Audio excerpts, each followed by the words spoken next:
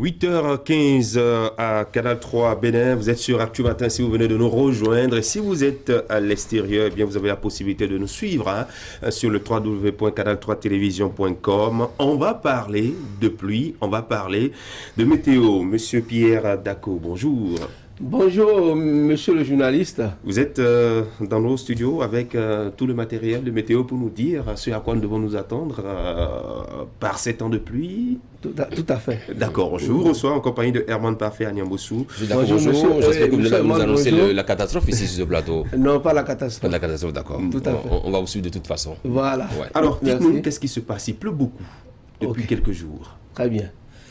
Euh, monsieur le journaliste, je crois que c'est vraiment le, le, lieu, le lieu rêvé pour pouvoir expliquer aux, téléspectateurs euh, qu'il n'y a pas encore péril dans la demeure. Vous êtes certain? Avec tout ce que nous avons vécu Oui, la raison est toute simple.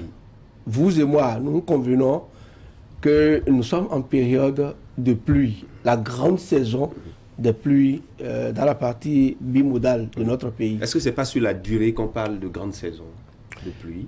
Oui, il y a la durée. Euh, mais il y a aussi le fait que quand on dit qu'on est en saison de pluie, à quoi doit-on s'attendre? On doit s'attendre normalement à ce qu'il y ait des pluies? Oui, ou non? Mais beaucoup de gens, quand il pleut, les gens s'inquiètent, ils disent pourquoi il pleut? Alors, nous ne sommes pas en, saison sèche. On ne s'inquiète pas du fait qu'il pleut, mais pourquoi il pleut beaucoup? En fait, c'est la quantité de pluie en ce temps record. Je vais vous expliquer. Je vais vous expliquer. Vous savez, l'atmosphère est une gigantesque machine qui fonctionne sur des lois physiques précises. Vous voyez mhm. Et elle, lorsque la saison, lorsque la saison euh, des pluies démarre, vous savez, l'atmosphère fonctionne comme euh, un moteur turbo propulseur ou bien turbo diesel. C'est-à-dire, euh, ça commence lentement. on constate que la saison a effectivement démarré. Vous savez, si vous, avez suivi les prévisions saisonnières, les prévisions saisonnières prévoient toujours qu'après le démarrage d'une saison, il y, a, toujours un temps de pause pluviométrique. Mhm. C'est-à-dire un temps où la pluie euh, s'arrête. Elle s'arrête et pendant un bon moment. La pause peut être courte, elle peut être longue. Vous voyez, et c'est après ça que les pluies reviennent de manière beaucoup plus normale. Vers, la fin de la saison, il y a, il y a également euh, une pause pluviométrique. Bon, maintenant, l'atmosphère étant en train d'avancer dans la saison, elle atteint ce que nous appelons une vitesse de croisière mhm. à, un moment donné. Et le mois de pic dans la région sud euh, de notre pays, c'est le mois de juin. C'est le mois de juin où on doit recevoir le maximum de précipitations. Mhm. Si on vous parle, nous avons des valeurs de référence que nous appelons les normales climatologiques. Lorsque nous comparons, nous, on vous dira si effectivement ce mois a été un mois excédentaire, nous, vous le dirons dans les jours à venir. Quand le mois va finir, mm. nous allons comparer la quantité totale de pluie reçue au cours du mois avec la valeur normale que nous connaissons qui est calculée sur 30 années, et qui est validée donc par l'OMM. Mm. Vous voyez, nous allons comparer, et c'est là nous, nous allons euh, vraiment conclure si effectivement les gens ont raison de crier. En fait, le problème que les gens ont eu, c'est quoi? Les pluies ne venant pas de, façon régulière se sont accumulées sur euh, un, peu de jours.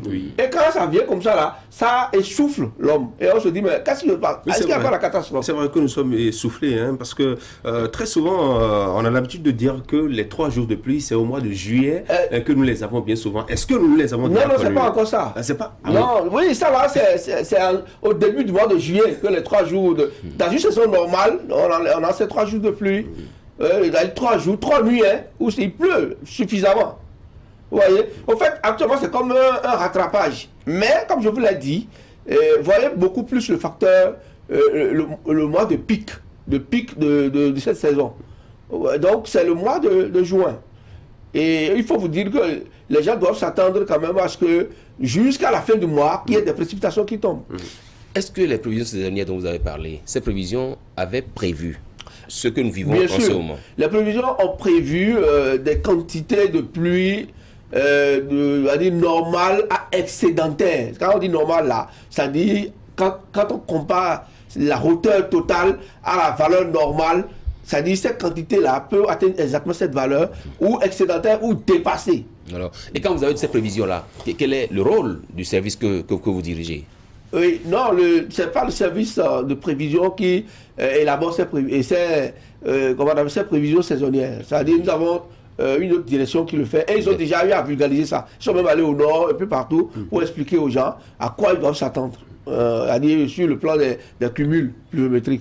Donc, c'est déjà, l'information est donnée, même la NPCC, la plupart des structures partenaires savent comment la saison va se comporter. Vous voyez, donc, et ce qui se passe, comme je vous l'ai dit, quand on vous dit que la saison sera normale ou excédentaire, vous comprenez que s'il ne pleut pas sur, euh, euh, sur beaucoup de jours, alors ça va se rattraper sur quelques jours. C'est ça. Et c'est là où euh, on est débordé. Et ça, c'est clair. Alors aujourd'hui, euh, lorsqu'on regarde le Bénin, quelles sont les régions qui seront beaucoup plus touchées par les pluies? D'abord, nous sommes dans la grande saison des pluies au sud. Oui. C'est le sud d'abord qui évolue actuellement. Oui. Euh, donc, la saison doit aller jusqu'à son terme.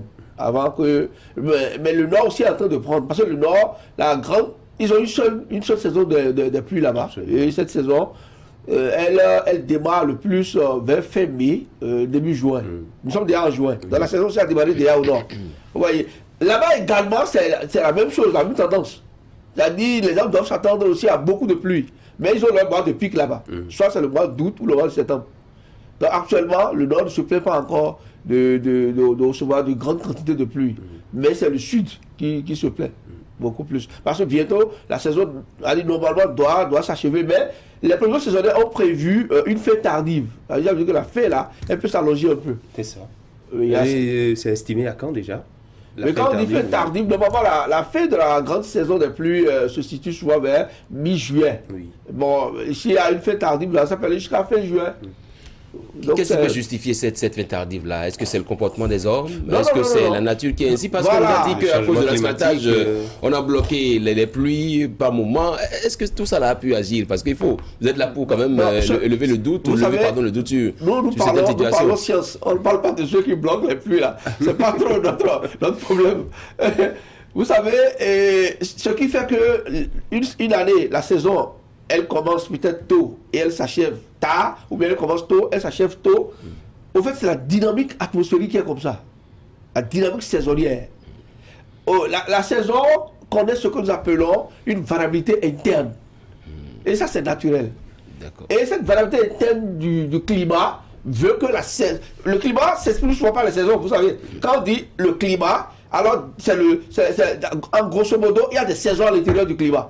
Alors, la saison, ce qui se passe souvent, c'est que la saison, elle peut démarrer tôt, elle peut s'ach- s'achever tôt, elle peut démarrer tard, elle s'achève aussi tard. Et là, ça relève de la dynamique interne donc, du climat. Donc, c'est ça qu'on appelle la variabilité interne du climat. Ça Ce veut dire n'est même pas changement climatique. le, le climat s'impose à nous.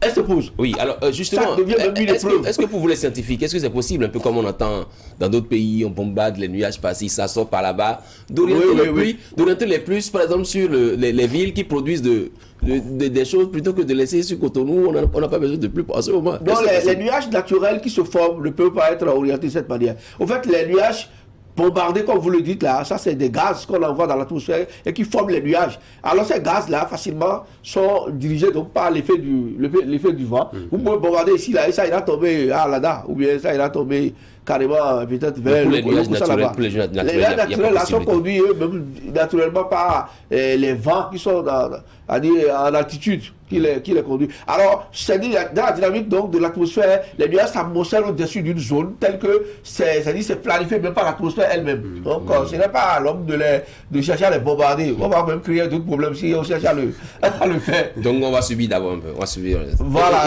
c'est- jusqu'à quand le, le- euh, Oui. Jusqu'à quand? Justement, si je dois vous parler maintenant un peu des, des prévisions donc des jours à venir, bon, vous, vous savez, les, prévisions sont des prévisions probabilistes, hein, c'est-à-dire appelées à évoluer. Alors, nous sommes aujourd'hui, euh, normalement, euh, le, le, 23, le 23 juin. voilà, le mardi. Ouais. Euh, pour le mardi, il est attendu de la nuit d'hier à ce matin, normalement, il va s'installer un, temps, un temps couvert et avec des averses et des orages au cours de l'après-midi. Tant Donc, couvert, c'est-à-dire. Le temps, vous- quand vous re- regardez le ciel là, vous allez constater que le ciel est chargé de nuages. Alors on ne voit pas le soleil comme ça. C'est ça le temps couvert. Alors, il est prévu que dans l'après-midi, euh, nous aurons donc des, des orages et des averses. Encore- ici. Oui, il y a à Cotonou, bien sûr, il y a à Cotonou, c'est sûr, à Cotonou. Et c'est une, une journée qui sera normalement une journée très nuageuse. C'est-à-dire, le, soleil n'apparaîtra pas comme ça. C'est ce qui est prévu normalement. Et, dans cette, au cours de cette journée, déjà, nous avons bon, les vents, les vents, nous avons des vents de surface hein, de direction sud-ouest avec une force qui variera de 7 à 12 km/h. Et l'après-midi, ce vent restera toujours du secteur sud-ouest, mais sa vitesse va avancer de 12 à 20 km/h. On a des extrêmes de température qui seront de 23 et de 27 degrés au cours de la journée. Ça, c'est aujourd'hui ça. Vous voyez. Bon, mais d'ailleurs, celle de mercredi à jeudi, vendredi, bon, si vous voulez plus. Oui, allez-y, allez-y, allez-y. On, veut, bien savoir ce qui se passe bon, tout au long de la, semaine. Pour la, semaine. pour la journée de mercredi, toute la matinée jusqu'à mi-journée, le temps sera couvert avec parfois des éclaircies. C'est-à-dire pour euh, le mercredi, euh, le temps sera couvert, mais il y aura des apparitions de soleil. C'est ça qu'on appelle les éclaircies. des, apparitions de soleil. Le temps sera perturbé l'après-midi. Des orages et des averses sont possibles. C'est une journée euh, peu ensoleillée, la journée du mercredi. Et le vent de surface, bon, le à les vents, bon, si peut-être les gens n'ont pas tellement trop besoin de ça. Euh, expliquez-nous, expliquez-nous le vent de surface. Euh, c'est le vent. C'est le courant aérien qui, qui, circule, auquel nous sommes. On, fait, on, rencontre quoi. Vous, vous, avez une sensation de, de ce qu'il y a, il y a un, un, vent qui souffle. C'est ça qu'on appelle le vent de surface. Vous avez le vent, c'est on a les, les, vents à différents niveaux en météo. On a, on a les vents de surface, on a les vents d'altitude. Dans les vents d'altitude, là, c'est à plusieurs niveaux. Mm. Et c'est ça même qu'exploitent les, les aéronefs, les avions. C'est-à-dire, quand on leur donne la météo, ils exploitent donc les vents euh, de différents niveaux pour pouvoir euh, quitter une région pour aller à une autre. Voilà. Oui, donc mercredi, euh, donc pour le mercredi, nous aurons euh, justement, le, vent de surface sera aussi du secteur sud-ouest avec une vitesse de 7 à, 12 km h au, courant de la nuit. Mais à cours de journée, la force va varier de 12 à 20 km h Seulement, les gens vont aussi, peuvent aussi s'attendre à des rafales de vent qui peuvent atteindre 20, 25 km h et qui, traverseront donc la, région de Cotonou. Hmm. Ça, c'est le mercredi. Voilà, on va s'arrêter au, mercredi euh, puisque nous avons déjà une idée de ce qui nous attend euh, aujourd'hui et, demain. Mais beaucoup hein, se posent la question de savoir pourquoi est-ce que parfois vous faites des prévisions et nous, euh, nous n'avons pas, euh, nous ne vivons pas ce que vous avez prévu, la fiabilité des données météo. Oui. Merci beaucoup. Vous savez, il y a beaucoup de, facteurs qui influencent le temps, beaucoup de facteurs. Lorsque nous prévoyons, souvent, si on dit par exemple, il y a, nous avons observé un gros abat euh, pluvieux orageux qui doit quitter la, le, Nigeria et qui monte sur Cotonou. Et le, le météorologue a, vu ça clairement et a examiné tous les, tous les, facteurs, les facteurs en amont, les facteurs en aval. Et le, météorologue informe que, vu euh, l'examen qui a été fait, ce phénomène-là va atteindre Cotonou dans les heures à venir. Mais les phénomènes connaissent ce que nous appelons des phases.